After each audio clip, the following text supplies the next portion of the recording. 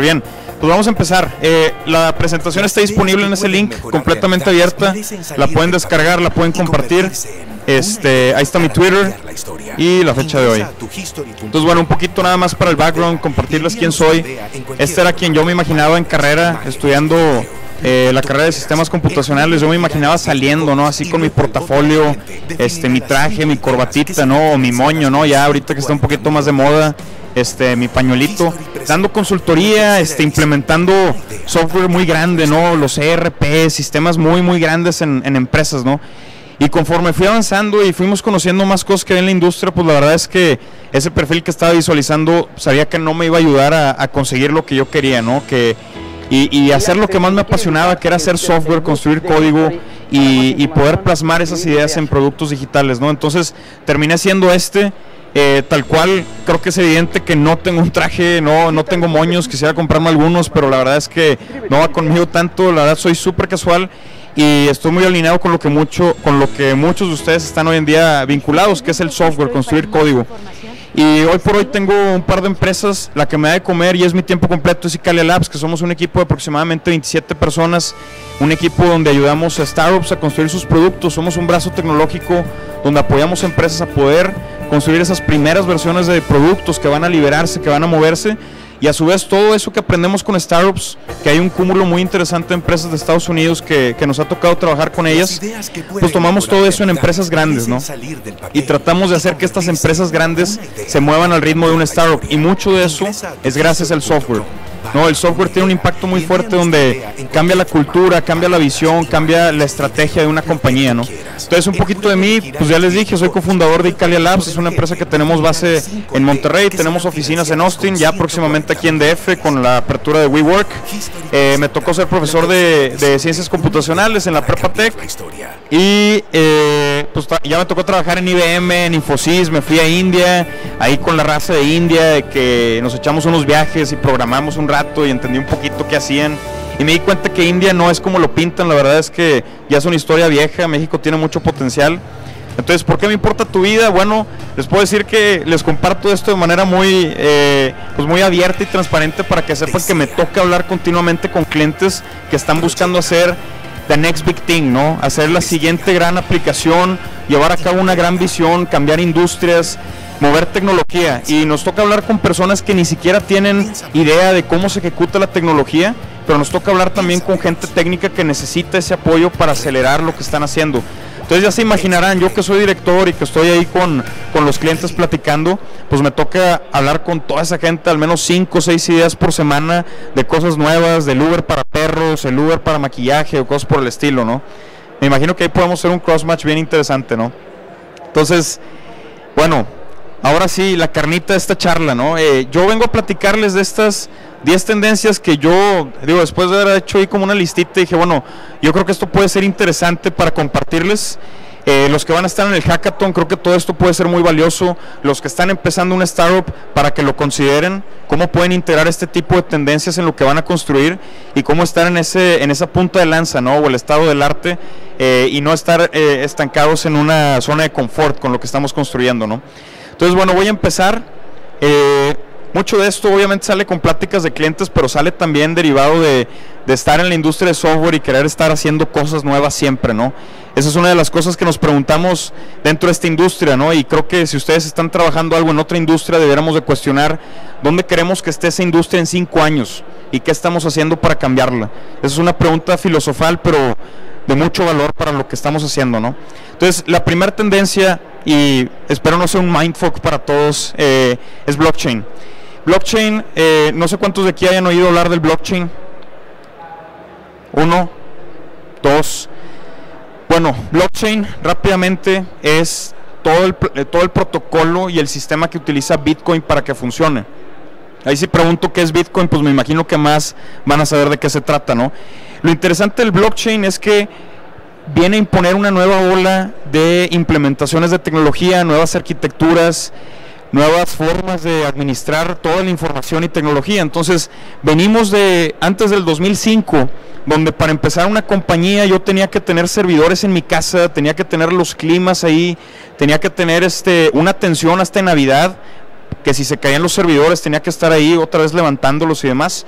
Pasamos después a modelos que existen hoy en día, que es como funciona Amazon Web Services, que es como funciona Google Cloud Platform, es como funciona, por ejemplo, también uh, Microsoft Azure, muchas plataformas eh, que son básicamente infraestructura como servicio donde tú puedes montar tu producto, ¿no?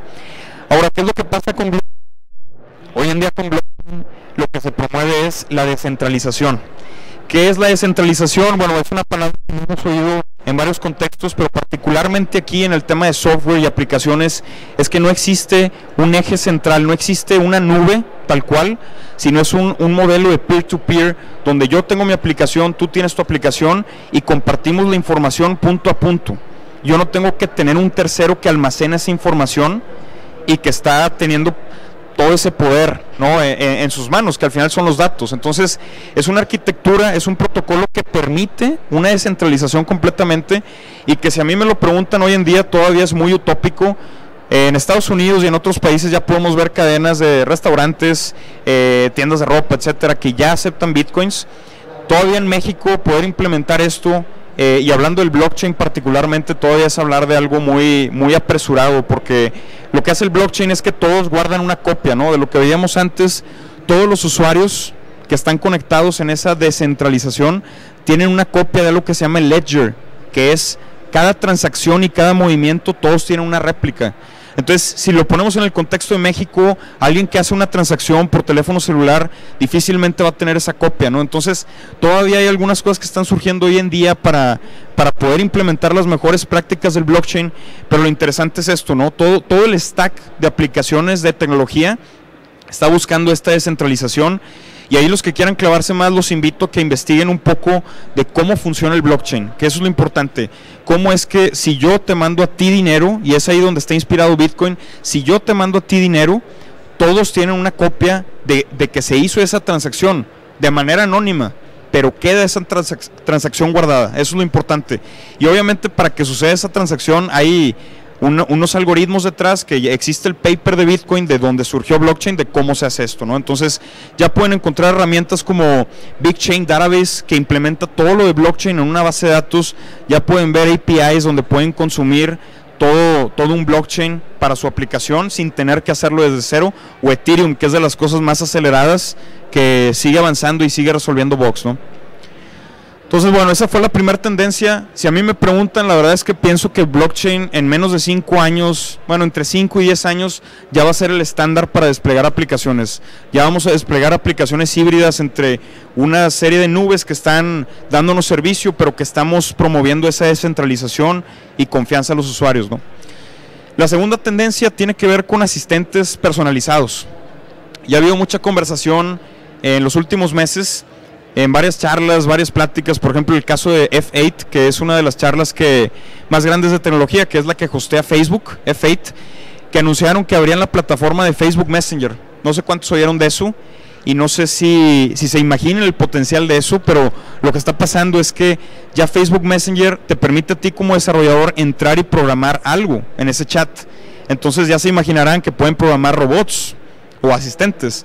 Entonces ya me tocó ver un par de aplicaciones. Hay una muy buena donde eh, tú puedes suscribirte a una aplicación y estás platicando con gente de manera aleatoria a través de Facebook Messenger, ¿no? Entonces ya tiene cierto filtro que es alguien que está en Facebook, este, pero bueno, imagínense el otro que se puede hacer. Uber empezó a hacer pruebas.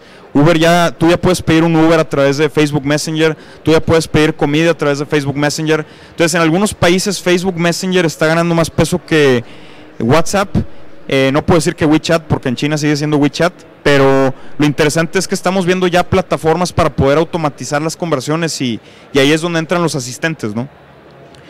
Un ejemplo que me gusta mucho es el de X.ai, que básicamente es un asistente inteligente, inteligente porque no es tanto todavía, donde si a ti te mandan eh, la propuesta de una invitación, que tienes que verte con alguien por tema de negocios o un trabajo de equipo con otros estudiantes, tú puedes incluir a este asistente, que es una cuenta de correo, y ese asistente, por el contexto que hay en la conversación, se encarga de agendar la sesión. Entonces, no sé cuántos les haya tocado la cadena de correos, 40, 50, para ver la disponibilidad de un grupo de personas, pero eso es lo que viene a resolver XAI, ¿no? Que creo que el asistente se llama Amy, ya no recuerdo. Y bueno, hay un ejemplo que me gusta mucho, que es una startup que está acá, no sé si sigue operando, es una startup mexicana que se llama Hola Gus. No sé si hay alguien de Hola Gus aquí. ¿No? Este, a mí me gusta mucho porque pues tiene ahí unos hacks. WhatsApp no tiene una API abierta como ya lo tiene el Facebook Messenger, pero ellos ahí con unos hacks de grappers que ya hay en internet, pues están utilizando WhatsApp para poder automatizar la conversación con la gente. Entonces tienen un número de teléfono que se llama Gus y Gus tiene la conversión con los clientes. Entonces tú le puedes pedir a Gus de que, oye, quiero que venga alguien a reparar aquí la chapa de mi casa, ¿no? O necesito que venga un plomero. Entonces es un asistente que está ayudando a un grupo de usuarios, ¿no? Para cualquier tarea. Entonces, Obviamente no, no es destacar el tema de que podemos programar ahí, lo que quiero que, entendamos es el potencial de poder programar es hacer esto inteligente, ¿no? Y ese es un trend súper fuerte, que es todo lo de inteligencia artificial, ¿no? Entonces, bueno, el segundo punto fue personal assistance. El número tres, ¿qué se imaginan con esto? Eh, consumerization of the enterprise. O sea, es, es un buzzword fuerte, pero no sé qué se imaginen, no sé si se imaginen, eh, pues bueno, creo que sí nos podemos imaginar la empresa de alguna manera ahí en el, término, ¿no? Pero eh, yo creo que hay más contexto si les presento esto, ¿no? Este es una, un ejemplo de una, una, interfaz típica en una empresa, en, una, en, un, en un gran corporativo el tipo de software que se utiliza hoy en día y es la realidad. Ahorita voy a mostrar una que es completamente lo opuesto, pero es el tipo de, aplicaciones que vamos a ver hoy en día que si ustedes les ponen esto enfrente, seamos honestos, no sabemos a dónde picarle. Inicialmente no sabemos dónde dar clic y es el tipo de aplicación que usa hoy la gente en su trabajo. Y está demostrado que el nivel de motivación y el nivel de productividad con este tipo de aplicaciones baja en más de un 40%. A diferencia de tener algo como esto, no sé cuántos de aquí utilizan Slack. Bien por ustedes. Bien por ustedes. Los que no lo conocen eh, y, que trabajan deberían empezar a usarlo. Eh, Slack básicamente es un chat dentro de la empresa. Entonces, ya lo están haciendo en Estados Unidos, están haciendo que la gente migre del correo electrónico a usar Slack. Y yo he visto equipos aquí en México que ya están dejando WhatsApp para entrar a Slack. Entonces, aquí este es un ejemplo perfecto de consumerization of the enterprise, es decir, todo lo que vemos hoy en día en productos de consumo, dígase un Facebook, dígase un Twitter, dígase un Instagram, las aplicaciones que usamos en el día a día, trasladados al, al contexto del business, de la empresa. Entonces, el concepto de B2B, los que están trabajando ese tipo de productos, que es venderle a las empresas grandes, definitivamente la parte de interfaz de usuario es una parte clave y es algo que se puede presumir y que la empresa lo puede comprar. Una de las personas más metidas en el mundo de, de consumerization de la empresa es Aaron Levy, que es el cofundador de una empresa que se llama Box. Box es competencia de Dropbox, hasta tienen nombres similares, pero ellos en lugar de venderle eh, almacenamiento a los usuarios, les vende a las empresas. Y él lo que dice es que el software en las empresas no solamente está haciendo que, se haga el trabajo más eficiente, sino está cambiando todo el contexto, toda la cultura de trabajo. Entonces, quiero que imaginen nada más cómo impacta un Slack en una empresa, ¿no? O sea, cómo si la gente está migrando de correo electrónico a Slack, que es una plataforma de tiempo real, ahí es donde podemos evidenciar cómo está cambiando toda esa cultura de trabajo, ¿no? En las empresas. Y bueno, aparte vienen otras cosas como los vestibles, eh, la domótica, que es el tema de las casas. Vamos a ver más espacios inteligentes en las oficinas, oficinas inteligentes, donde la gente va a poder tener, los managers, los gerentes van a tener más perspectiva del ambiente laboral, ¿no? Entonces vienen muchas cosas que ahí es donde hay que entrarle con interfaces sólidas y la consumerización, ¿no? Cuarto trend, data science, ciencia de datos, donde sea, en todas partes. Y cuando digo en todas partes me refiero a en toda industria. No es un tema solamente de software que realmente sí. O sea, si a mí me preguntan, junto con inteligencia artificial, va muy de la mano. Data Science es de las cosas que más van a estar creciendo y que no se van a detener. Y hoy por hoy, eh, el año pasado, el trabajo de científico de datos en Estados Unidos fue catalogado el trabajo más sexy. Pero obviamente no es tan sencillo como decir, hago una consulta a la base de datos y presento un resultado. Eh, hay mucho detrás, es una combinación de habilidades, características de esa persona. No solamente se, trata de programación, se trata también de la parte de probabilidad, estadística para poder hacer estos modelos inteligentes y hay también una parte de estrategia que muchos científicos de datos se sientan al lado de un director para tomar decisiones de por qué clientes de tales edades están comprando más este producto y no el otro. ¿no? Entonces, ese tipo de decisiones que son estratégicas, ahí es donde entra el científico de datos. ¿no? Para dar un caso, eh, la industria biomédica con el tema del genoma, esta es la cantidad, digo, es, un tema exponencial obviamente, pero esta es la cantidad de records que va a haber por cada uno de los usuarios de, la información de su genoma que vamos a tener y que se va a estar almacenando a lo largo de la vida de la persona. Entonces, estamos viendo un crecimiento 2014-2017. Todavía no estamos en 2017 y podemos ver cómo va el crecimiento, pero es justamente el crecimiento que va a haber en otras industrias por la facilidad, hoy en día por infraestructura, pero también la versatilidad de poder tener esos datos y analizarlos y entender qué, qué información hay detrás. ¿no? Entonces, esto es la industria biomédica, está pasando en muchas otras industrias y vamos a ver cada vez más recolección de datos de todo tipo. El quinto, eh, y no solamente eh, lenguajes de programación, herramientas para desarrollo, herramientas técnicas. Vamos a ver mejores herramientas. Si yo les preguntara cómo se imaginan, y ahorita que hacemos la pregunta de dónde vemos la industria en cinco años, ¿no? Si yo les preguntara ¿Cuál se imaginan que es el lenguaje de programación que ven en cinco años? ¿Cuál es el mejor lenguaje de programación que ven? Y no me digan que el que están usando es el mejor, porque yo sé que todos me van a decir, y ahí van a salir las tribus, ¿no? Que PHP, Node.js, Ruby, ¿no? Pero bueno, esto, esto va a venir a cambiar mucho la forma en la que construimos productos. Hay muchas características y ahorita les voy a compartir de cómo mejores lenguajes van a hacer que tengamos mejores productos, mejores equipos y mejores plataformas, ¿no? Entonces hoy tenemos, por ejemplo, un código espagueti, ¿no? O sea, tienes ahí HTML embebido, tienes unas cosas, tienes ahí de que eh, creo que está roto por un commit mal hecho. O sea, hay varias cosas ahí que, pues bueno, no es el mejor código del mundo. Y conforme esto va creciendo, pues es más difícil de, de, evidenciar dónde está la función llamándose, qué tipo de información, qué tipo de variables está mandando, ¿no?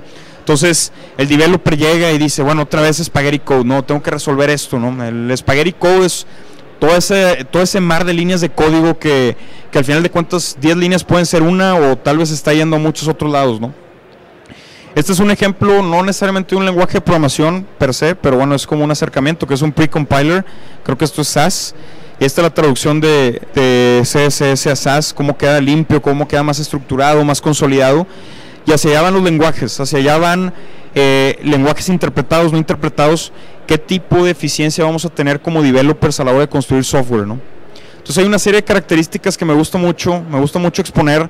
Esta lista la tomé tal cual de Paul Graham, que es eh, la persona que inició con Y Combinator, que es una aceleradora que está en Estados Unidos, en California, y que invierten solamente en productos técnicos. De ahí de Y Combinator salió Airbnb, salió Reddit, salió este Dropbox, salieron varias empresas muy buenas. Y la verdad es que me encanta la filosofía de este señor. Tiene un libro que se llama Hackers and Painters, Pintores y Hackers, que recomiendo mucho. Y él habla sobre esto, él habla sobre el lenguaje de programación del futuro. Entonces, hay cosas muy evidentes como el primer punto, o sea, el lenguaje tiene que ser popular entre los hackers.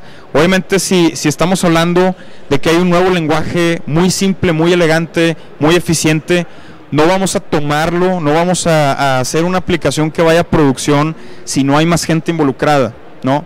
Y ahí es donde el open source también resalta, porque el open source nos ayuda a que más gente se involucre y que esto evolucione de manera descentralizada, ahorita que lo mencionamos, y eso es lo padre de, estas herramientas, ¿no? Después viene Successness, si bien lo dije, que básicamente es que sea dirigido al hacker que tiene flojera. Y flojera me refiero a yo quiero liberar pequeños hacks en cuestión de minutos. No quiero que esto me tome horas. Yo quiero hacer una validación, yo quiero hacer un hack que me tome minutos. Y ya hay lenguajes que lo podemos ver con la elegancia de Ruby u otras plataformas, otros lenguajes, perdón, de cómo algo que tenemos en 10 líneas de código en un C o incluso en un Python por ser tan tan eh, este imperativo, tan este detallado, como con lenguajes como este que es Ruby podemos hacerlo en una línea, ¿no?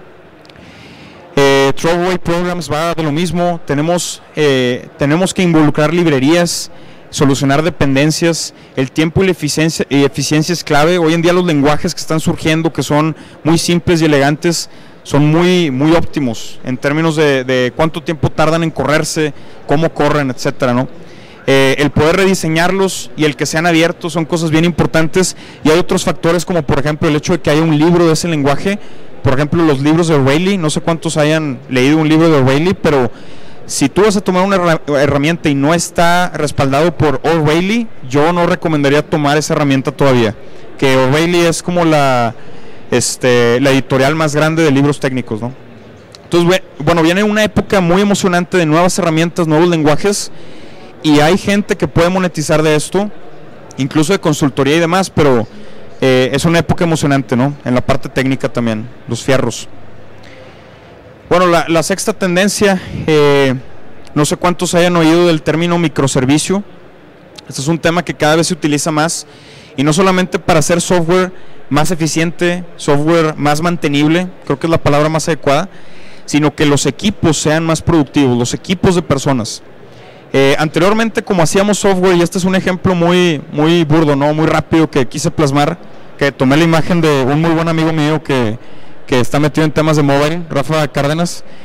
Eh, anteriormente, mucho del software, cuando empieza a haber este boom de internet en los 2000, pues muchas de las plataformas eran en internet, ¿no? Las más evolucionadas, que era un Salesforce, eran estas empresas que ya te cobraban por usar mensualmente el software, ¿no? Rentarlo. Entonces empieza esta capa de lo web, ¿no? Entonces, una arquitectura típica que es la de vista, modelo, controlador, empieza a crecer. Conforme más usuarios, más empiezas a meter código, más empieza a robustecerse. ¿Y qué pasa cuando llegan los dispositivos móviles, ¿no? ¿Qué pasa cuando vienen los vestibles? Y ahí es donde empieza a ver eh, misma base de datos, pero que demanda más esfuerzo de los equipos de desarrollo, porque tenemos que estar atendiendo el frontend de Android y el backend que se comunica con la base de datos. Tenemos que ver también lo de iOS, tenemos que ver lo de web. Tienes un equipo que hace wearable, entonces, digo, equipos especializados, pero el detalle es que empiezas a simplificar eh, todos los bloques, todas las capas que tienes del software. Entonces, lo que pasa hoy en día es que tienes, ahí perdón por las líneas, está medio feito eso que dice API, pero lo van a entender. Hoy por hoy tenemos que hacer cada vez más pequeño el stack de la parte de front y poderlo delegar todo. ¿no? Es lo que viene a hacer microservicios. Entonces tienes una capa que es el API que básicamente tú tienes, por ejemplo, búsqueda en tu plataforma, tienes búsqueda de usuarios. Y la búsqueda tienes un equipo que exclusivamente se encarga de la búsqueda y que te devuelve los resultados de la búsqueda y que tú le pides la búsqueda y solamente hace eso. Ese, ese microservicio tiene la tarea de hacer la búsqueda solamente. Así tienes la creación de usuario, así tienes también eh, la creación de una organización, qué sé yo, depende de tu aplicación. Y es ahí donde vienen las divisiones del API, que es el backend. Tienes un backend sólido, muy bien distribuido, muy bien documentado, donde puede entrar alguien del equipo a trabajarlo solamente el backend, te devuelve datos, los recibe y hay un equipo trabajando el frontend. Entonces voy a poner un ejemplo de cómo esto impacta en los equipos de trabajo en las, en las empresas más modernas hoy por hoy, ¿no? Eh, esto es más o menos como se ve, digo, antes de entrar al ejemplo, software monolito con software de microservicios, donde ya puedes dar servicio a varios clientes, varias plataformas. Eh, ¿Qué es lo que pasa hoy en día en empresas como Spotify? Anteriormente, ¿cuántos de aquí usan Spotify? Ok, bueno, me van a entender muy bien. Eh, tú tienes el cliente de Spotify, ¿no? Lo instalas en tu computadora o lo cargas en, web tal vez. Y anteriormente tenías a toda esta manada de, gente, ¿no? Trabajando el producto, corriendo, corriendo las pruebas viendo cómo resolverlo y conforme tu software se hace más robusto, es mucho más problemático mantenerlo así, ¿no? Entonces, la gran ventaja de microservicios, y es como evoluciona hacia este lado, es que tienes un equipo que ellos les llaman tribus. Tienes un equipo que se mete a trabajar la parte del lado izquierdo, que es por ejemplo playlist. Tienes un equipo solamente trabajando las listas de reproducción. Tienes un equipo trabajando la búsqueda. Tienes un equipo trabajando la parte social. Tienes equipos muy segmentados que ese equipo tiene una responsabilidad súper clara y solo debe trabajar eso. Obviamente hay cosas ahí de, gerencia y administración, capas de arriba que están administrando y orquestando todo esto, pero mi punto es destacar cómo una arquitectura que es la de microservicios provoca toda esta eficiencia de trabajo, ¿no? La séptima, infraestructura como código. Ahorita hablaba de lo que pasaba eh, anteriormente, ¿no? En, en la época de las startups de los 2000, cuando alguien quería empezar a construir software que operara en internet, ¿no? Entonces la gente tenía en su casa los servidores, tenía que comprar climas, abanicos, todo para que pudieran funcionar los servidores. Y hoy por hoy tenemos mucha versatilidad por proveedores como Amazon, como Google, como eh, you name it, ¿no? Hay bastantes. Y lo que está pasando ahora es que puedes controlar todo lo que conlleve desplegar tu aplicación en internet y que más gente la use, tú ya lo puedes ¿no? Y es ahí donde, donde deriva el concepto de infraestructura como código. Y no solamente es manipular los servidores, como lo hacemos con Amazon, que básicamente tiene una API donde yo mando mi aplicación, se queda por ahí corriendo, tengo una base de datos por allá, sino es también poder automatizar literalmente todo el proceso de despliegue, todo lo que conlleva desde que yo introduzco una nueva funcionalidad en la plataforma, lo que conlleva correr las pruebas automatizadas, lo que conlleva compilar el programa, lo que conlleva subirlo y que no haya una, una ruptura de esa aplicación y que siga arriba el servicio, como veíamos ahorita de Spotify, para atender a 100 millones de usuarios, 200 millones de usuarios. Entonces, Hoy por hoy infraestructura como código lo que permite es empoderar a los desarrolladores para que ya no tenga que haber un sysadmin o alguien que le esté moviendo los fierros, sino llega un desarrollador y tiene responsabilidad total de integrar esa funcionalidad o ese código hasta que lo tenga el usuario. Entonces estamos acortando los flujos de trabajo, los tiempos de entrega y ya podemos ver nuevas funcionalidades, no como antes que eran tres meses, ya lo estamos viendo en tres minutos más el tiempo de desarrollo. Obviamente no vamos a hacer un feature en tres minutos, ah, a menos de que sea un bug. Y bueno, hay muchas herramientas, ¿no? Este, ahorita que hablábamos de esta automatización del proceso, eh, está Jenkins, está Travis, CodeShip, que analiza tu código, y muchas otras que ayudan a poder evaluar la calidad del código, a correr las pruebas, a automatizar todo ese proceso, ¿no? Una de las herramientas que me gusta mucho, que hoy en día está sonando, este, no sé cuántos de aquí lo hayan oído, el concepto de contenedores, que básicamente es yo, yo encapsulo mi aplicación, eh, yo tengo este, este eh, contenedor que puedo desplegar de manera agnóstica en cualquier infraestructura, ya sea infraestructura en sitio, ya sea en Amazon, ya sea en Google.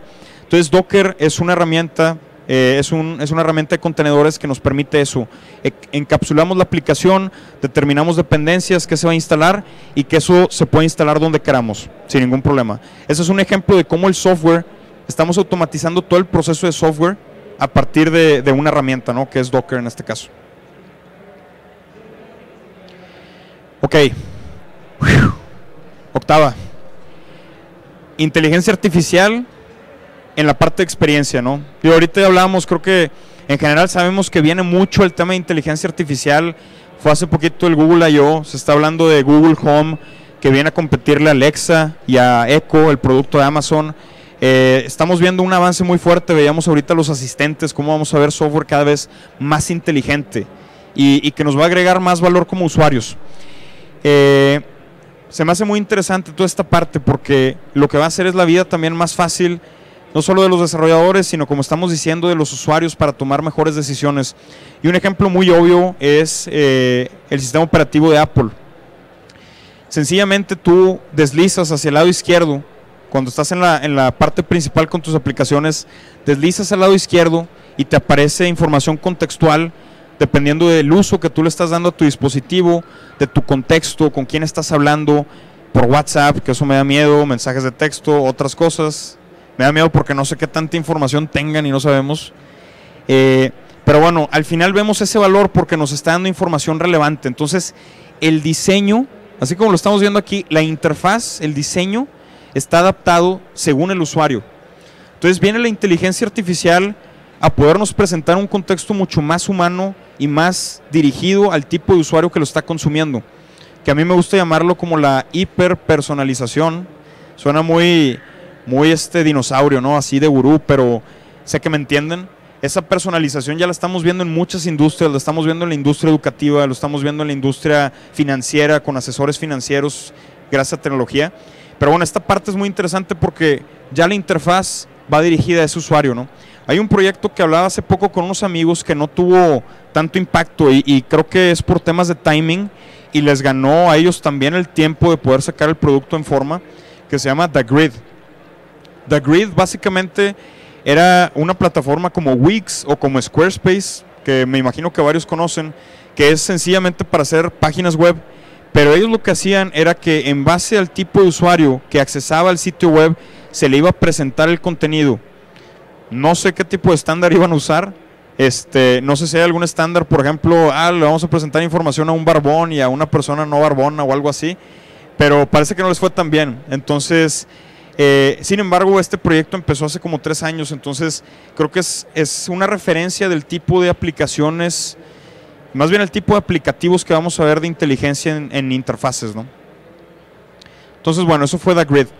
Um, el noveno trend, eh, ya lo estamos viendo en otras partes del mundo, todavía en, México falta mucho, eh, pero ya lo estamos viendo por iniciativas como DBF, que están por allá, que los invito a que se echen una vuelta. Mañana voy a dar una pequeña plática a las 12. Eh, ya está sucediendo con Laboratoria, ya está sucediendo con Hacker School, con varias compañías que están buscando democratizar la educación en tecnología. ¿Y a qué me refiero con esto? La palabra democratizar la uso en el sentido de que cualquier persona va a tener acceso a entender cómo funciona la tecnología. Y la verdad que me gusta mucho decirlo y creo que vamos a concordar. Hoy en día, esta sociedad, por lo por el alto grado de tecnología que existe, lo menos que podemos pedir como sociedad es saber cómo funciona, lo mínimo para saber cómo funciona esa tecnología. Y no lo digo para necesariamente programar, tal vez no tenemos que llegar al grado de tener una aplicación que hayamos hecho por nuestra cuenta, pero sí entender todo el contexto por temas de privacidad, por tema de la información que vamos a compartir esos productos y cómo funciona la tecnología en nuestra vida diaria. ¿no? Esta es una imagen de una chica que está programando les digo, en Estados Unidos ya está sucediendo. Hay organizaciones como Code.org que lo están promoviendo. En Estonia ya es prácticamente parte de la ley educativa, o no sé cómo lo podemos decir, pero ya prácticamente desde los 8 años ya no se ven clases de informática, ya no ven las partes de la computadora, porque eso es algo que puedes ver entre los 6 y 8 años. A los 8 años la gente ya se mete a programar. Los chicos, los niños ya están programando y no están programando en Java, no están programando en JavaScript desde cero, están programando en lenguajes gráficos, que es lo que hace Scratch, por ejemplo, una herramienta del MIT, que es un lenguaje gráfico donde ellos arrastran bloques, hacen un juego y lo comparten en una red social con más niños. Entonces, ahorita que hablamos de lenguajes de programación, yo creo que va a haber una vertiente también hacia lenguajes gráficos para, para poder adentrarnos al mundo tecnológico y que gente que no es de tecnología se involucre, ¿no? Ahora, eso era hablando de niños, pero hablando también de, de gente más grande, jóvenes, adultos pues como les digo, en Estados Unidos ya está más maduro esto, ¿no? Y ahorita poner el ejemplo de DBF, poner el ejemplo de varias escuelas que ya están operando en México y básicamente es un espacio donde quien sea que quiera involucrarse en la industria de software y tecnología lo puede hacer pagando por esos cursos e inmediatamente empresas como Maker Square te asegura trabajo inmediatamente saliendo de estas escuelas, bueno, de su escuela. Entonces es tanto, fíjense, de hecho ahí viene, 96% de la gente que se gradúa tiene empleo. Digo, esto es emocionante porque pues sabemos que hay tanta demanda de gente técnica, gente como nosotros que sabe de software, que sabe de productos digitales, que necesitamos más gente que se esté metiendo a esto. Sin embargo, eh, no es suficiente. Al ritmo del que están saliendo las universidades no es suficiente. Entonces, ¿cómo podemos acelerar eso? Pues tiene que ver con este tipo de conceptos que vienen a cambiar incluso la forma en la que la universidad tradicional funciona.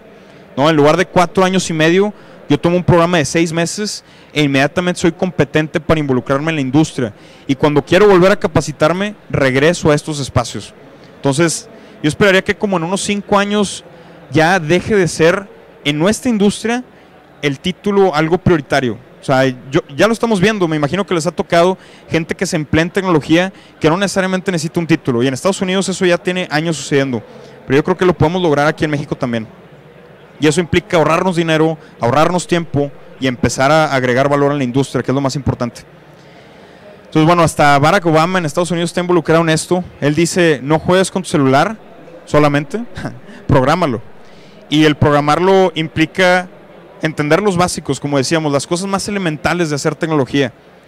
Ahí lo vemos al, al buen Barack ahí programando, ¿no? Haciendo programación en parejas y haciendo un poquito de code review, ¿no? Con una cerveza. Entonces, bueno, vamos a ver cuándo, cuándo nos toca acá, pero si no es por parte del gobierno, vamos a empezar a hacerlo nosotros, ¿no? Creo que nada nos limita. Y bueno, el último punto, eh, ya está sucediendo también. O sea, hay mucho, todo esto ya está sucediendo, pero, y esto ya tiene años, pero hace mucha más falta hacer énfasis en esta en este tipo de dinámica, que es trabajos eh, equipos remotos perdón, y distribuidos que trabajen de manera ágil. Típicamente la estructura que, que muchas personas tienen en su cabeza, y, y tengo que destacarlo, o sea, la filosofía ágil deriva mucho del mundo de software, porque en los 70s, 80s, proyectos fallidos en términos de, de presupuesto, de entregas, de entendimiento del alcance del producto, hace que gente se cuestione sobre cómo había que hacer software mejor y más dinámico, más rápido. Y todavía hay escritos de los 70 que relatan la realidad de hoy en día, que la administración de software es muy diferente a cualquier otro tipo de proyecto. Entonces, hay esquemas hoy en día que están buscando promover esa cohesión y colaboración a la hora de construir software, y es justamente como funciona la filosofía ágil. No es una metodología, no me gusta a mí llamarlo metodología, porque una metodología sería hablar de Scrum u otras cosas. Es una filosofía, y, digo filosofía porque hay valores detrás, como la comunicación, como el trabajo, el estar mostrando software funcional y no estar mostrando documentación y papeles. Esto es lo que provoca esta estructura, donde involucras al cliente, involucras al equipo en las conversaciones y están avanzando de manera incremental en el producto a diferencia de la otra estructura, ¿no? Donde tienes a un mediador que va con el cliente, le dicen que quiere eh, que el cliente tiene un problema y que necesita aceptar pagos y llega de este lado y habla de integrar pagos no solamente en Oxxo, sino hasta con Bitcoins, ¿no? Y el equipo ahí anda de que dándole bien recio una semana, este, eh, casi 26 horas al día, ¿no? Entonces, esto lo que provoca es cohesión, es colaboración y es avance. Entonces, bueno, varios de los principios son equipos pequeños, ahí nos salieron los bullets, pero equipos pequeños, herramientas reusables, ahorita que hablábamos de, las herramientas tecnológicas y lenguajes, código reusable, código que logremos empaquetar y que reutilicemos en un futuro es una cosa valiosísima, porque lo podemos modularizar y utilizar e integrar al software nuevo sabiendo que va a funcionar, porque ya lo tenemos empaquetado, ¿no? Y eso es lo que hacen los equipos ágiles. Muestran software funcional, tienen valores clave y el, punto que está surgiendo hoy en día es, trabajan de manera distribuida también. O sea, hoy en día la, la idea que se tenía de que un equipo es mucho más eficiente, cosa que es cierto, un equipo es más eficiente de manera colocalizada, es cierto, pero hay equipos que han demostrado que pueden mantener empresas de millones de dólares de manera distribuida. Entonces ya empieza a haber también una descentralización de los equipos, empieza a haber ahorro de costos y la posibilidad de invertir en otras cosas, ¿no? Y una parte que me, que me emociona mucho, que es lo de Extreme Programming, programación extrema. Quien no lo haya visto, los invito a que lo revisen. Son una serie de prácticas y es una filosofía a la hora de construir software que nos puede ayudar a hacer mejor software, ¿no? Cosas como eh, el análisis o review de código, refactorización y programación en parejas, ¿no? Entonces los que no hayan hecho programación en parejas, pues es algo que ayuda a acelerar la forma en la que se hace software de calidad, porque mientras tú estás en la computadora, está tu peer viendo el código, te está diciendo, oye, ¿por qué lo estás implementando así? Y te está diciendo cómo cambiarlo, ¿no? O sea, en tiempo real estás teniendo esa dinámica. Y aunque la otra persona pudiera estar programando, se los puedo asegurar que hace que el avance sea más rápido, ¿no? Y ya, bueno, no sé si eh, pueda mostrar este tipo de imágenes, ya depende de cada quien, la dinámica que quiera llevar a cabo. Eh, está el programming, ¿no? Que es estar mucho más de la mano haciendo la programación en parejas, ¿no? Entonces, bueno, todo esto obviamente apoyado y respaldado de un tema clave, el código abierto, open source. Esta industria no va a avanzar si no sigue siendo abierta y esa es una de las cosas que creo que todos lo sabemos, a todos nos gusta y hemos hecho software justamente gracias a que hay software abierto, eh, open source.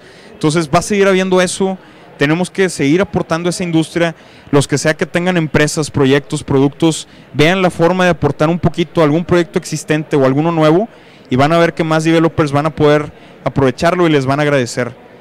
Digo, lo digo también por experiencia, mi empresa, por ejemplo, ahorita que les comentaba Icalia, no hubiera nacido si no hubiera habido open source. Entonces, la verdad es que nos sentimos muy comprometidos con, con la industria por eso.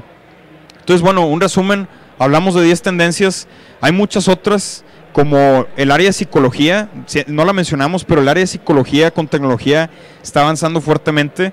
Viene de esto de Estados Unidos, gente que vive bajo una presión muy fuerte de competencia, de eh, como es la cultura de arduo trabajo, la gente sufre mucha presión y hoy en día hay soluciones tecnológicas para dar terapia a gente, por dar un ejemplo, ¿no?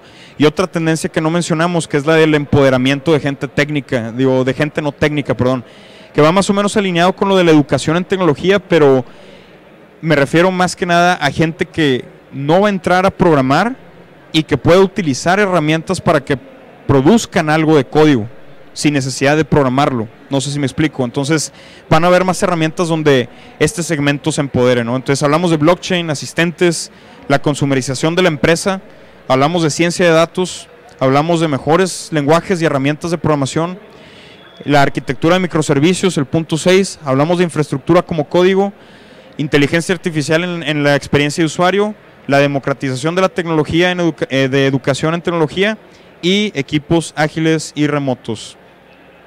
Cierro con esta frase que tiene más de, creo, 10 años de Mark Andreessen, muy cliché, pero muy cierta, y no creo que muera en el corto plazo. El software se está comiendo el mundo, y a mí me gusta ver al software como una industria, más que una industria vertical, es una industria horizontal, si se pueden dar cuenta. Por eso está surgiendo fintech, por eso está surgiendo eh, cosas nuevas en el tema de medicina, por eso está habiendo muchas cosas nuevas con tecnología y un principal actor es el software, y a eso se refiere esta frase. Carros, ahorita vamos a ver carros que van a habilitar marketplaces. ¿Cuántos billones no se han vendido en marketplaces como el de Apple, como el de Google Play? ¿Qué va a pasar cuando se habiliten marketplaces de carros? ¿Qué va a pasar cuando tengamos marketplaces de casas para bajar aplicaciones que le metamos una aplicación a la casa y, pueda hacer algo, ¿no? Entonces, vienen cosas que predecirlas realmente sería charlatanería. Vamos a tener que hacerlas. Entonces, con esto cierro. Muchas gracias por su tiempo, por haber estado aquí. No esperaba tanta gente. Aprecio mucho eh, su estancia aquí en el, en el foro de developers. Y abrimos ya para las preguntas. 15 minutos. Quien quiera. ¿Paso el micro? Ah, aquí hay una pregunta.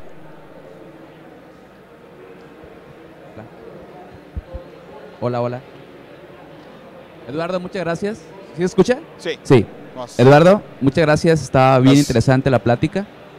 Em, en el punto 2 y 8 que mencionaste sobre personal assistance y inteligencia artificial, en particular mi equipo y yo estamos muy interesados como en empezar a, trabajarlo. Sin embargo, de las preguntas que hemos tenido y tal vez tú nos puedas ayudar es, realmente para habilitar un servicio que utiliza inteligencia artificial requieres en este momento tal vez de utilizar una inteligencia artificial ya existente, ¿no? Hablas, por ejemplo, de los servicios de Azure o tal vez Watson que ahora vi de IBM o ya vi que también Elon Musk sacó su Open AI, ¿no? También otra onda que está sucediendo ahí. Google tiene, como acabas de mencionar, también sus motores de inteligencia artificial, que ya cada, cada empresa grande tiene sus motores, ¿no? Se nos ocurre a nosotros que tenemos que depender de una de ellas para poder habilitar la inteligencia artificial en la, en la empresa, ¿no? Pero no estoy seguro si es el camino a seguir si sí lo es, ¿a qué empresa te irías tú, por ejemplo? O si buscarías mejor en desarrollar tu propia inteligencia artificial, aunque no me imagino cómo, porque es bastante complejo, ¿no? Sí, pues felicidades por entrar a esa, área, creo que eh, es muy buen momento para explorarlo. Definitivamente ya hay muchas APIs, es cierto, que se pueden utilizar. Yo inmediatamente recomendaría Google, porque Google ya trae la filosofía, como en algún momento sonaba lo de mobile first, Ahorita está sonando con ellos lo de Machine Learning First. O sea, ya están hablando de que toda la gente sepa de Machine Learning, Deep Learning, cosas de inteligencia. Entonces, tiene una filosofía bien fuerte de que todos van a tomar, van a ponerse la cachucha al rol de, científico de datos.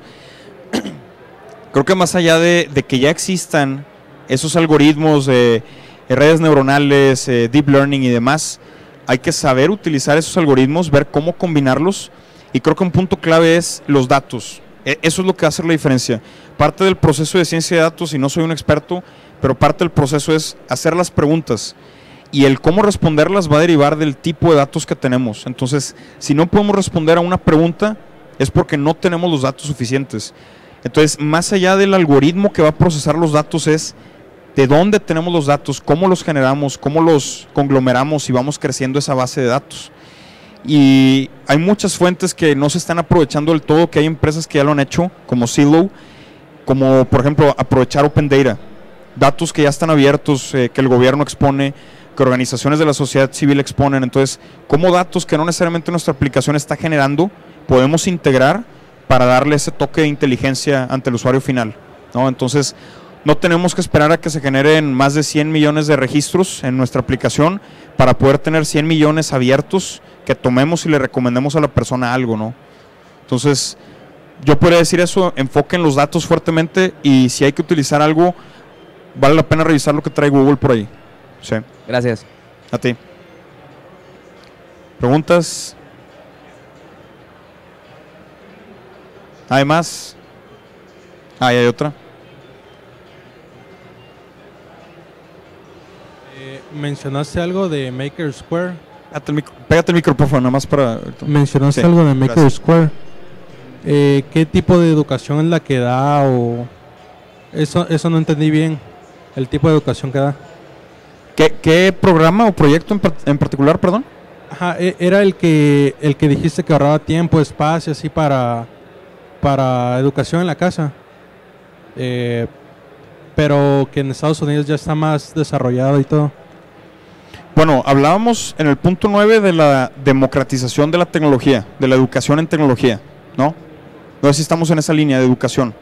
¿Sí? sí, ok. sí. Yo el caso que puse es de una empresa que se llama Maker Square, que hay casi 70, 80, no sé el número, en Estados Unidos, como Dev Bootcamp, como Hack Reactor, eh, hay varias.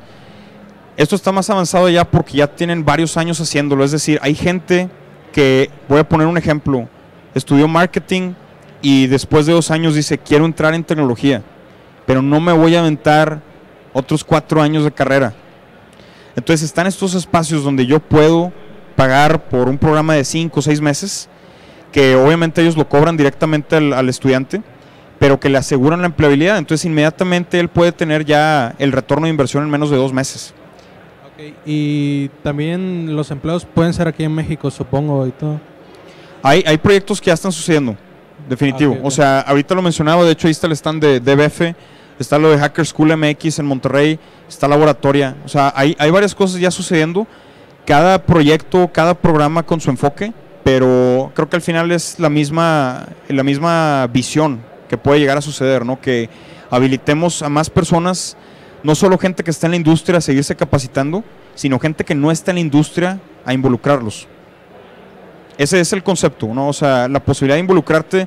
Y te voy a poner un caso. Imagínate que un chavo que está en prepa en este instante se gradúa y dice, no voy a entrar a la universidad a estudiar una carrera de sistemas, voy a entrar a una de estas escuelas para ser empleable inmediatamente.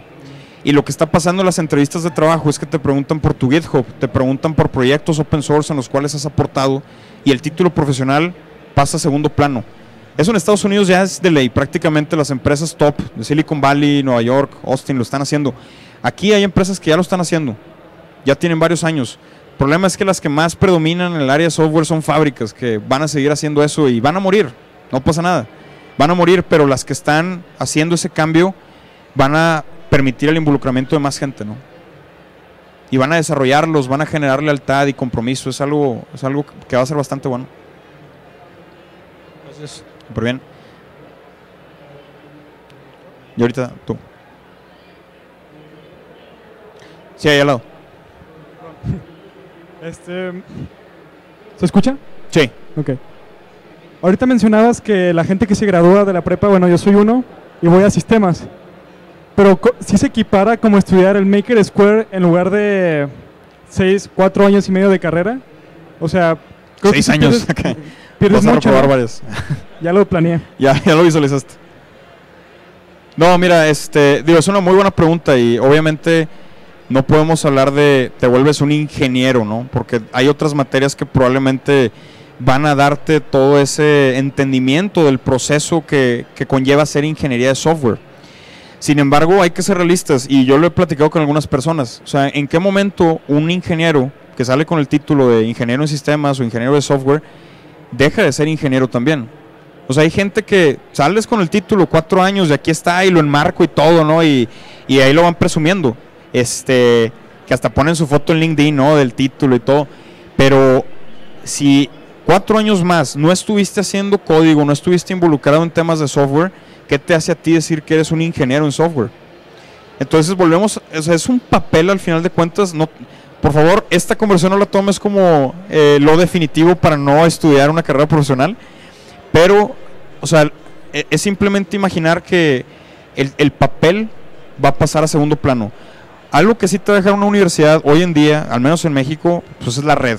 Eso que ni qué, o sea, la red con otros estudiantes, con los profesores, posibilidades de trabajo, o sea, eso va a persistir. El tema aquí es la competencia y capacidad a la hora de estar en la industria. Entonces, sí puede ser un riesgo hoy por hoy como está el mercado de decir, me voy a meter a una escuela de estas y me meto a la industria, pero si estás dispuesto, si tu nivel de pasión en este instante por lo que vas a estudiar es demasiado alto, yo te diría, dale por ahí. O sea, dale por ahí porque tú vas a terminar aportando a open source, vas a terminar haciendo algo en una empresa que va a querer ir por ti, por ser alguien bien joven y por temas de diversidad. Me imagino que eres Z o algo así, de la generación Z millennial. Va a ser vente acá, vamos a hacer cosas diferentes y, vas a ir creciendo. O sea, ¿cuándo empiezas a hacer tu, tu currículum? Cuando te involucras en la industria. Tal cual. Digo, ahí, ahí si quieres acabando platicamos más, este, pero te digo, no tomes esto como definitivo. Gracias. Pregunta. ¿eh? Hola, ¿qué tal? Gracias por tu plática. Gracias. Eh, ¿Qué recomendarías tú para formar un equipo ágil, como dices?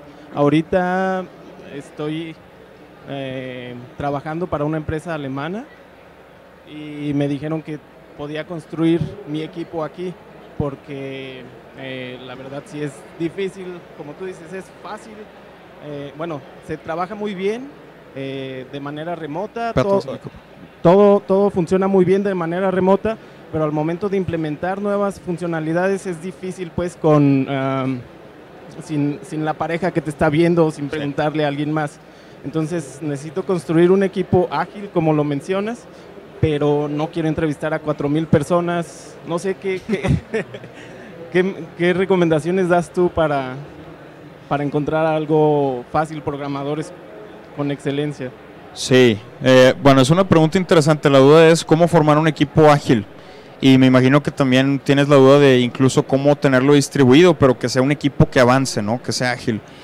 Eh, definitivamente, o sea, la primera opción debería ser pensar en un equipo colocalizado, porque tú tendrías más control de ese equipo. Y el, el gran paso, o sea, más allá de hacerlo colocalizado, el primer gran paso que yo recomendaría es tener bien clara la cultura de la compañía. O sea, qué es lo que ustedes defienden, qué es lo que ustedes eh, visualizan, o sea, cuál es la visión y qué valores comparten. ¿Y por qué digo esto? Y no es nada ingenieril, y de hecho esa es mi plática de mañana. Si no tienes esa cultura clara, no vas a saber a qué tipo de personas contratar, para empezar. O sea, creo que aquí le daría mucho más peso a los valores, el perfil y aptitudes de la persona que el tema de, de las herramientas y qué tanto sabe manejar, porque eso tú lo podrías desarrollar sin problema. O los puedes mandar a capacitar o algo, pero las aptitudes y los valores no van a cambiar. Entonces, teniendo claro eso, tú ya sabes qué tipo de perfil, con qué características reclutar.